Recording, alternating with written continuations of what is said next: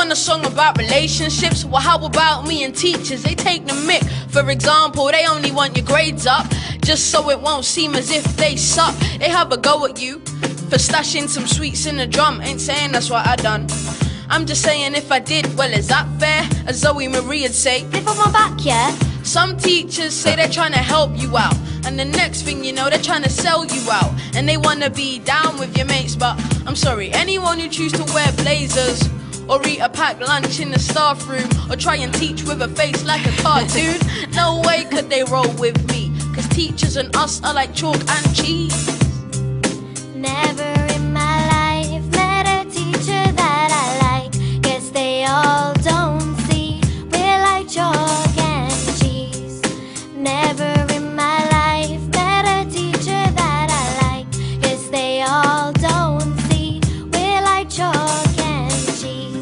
Yeah.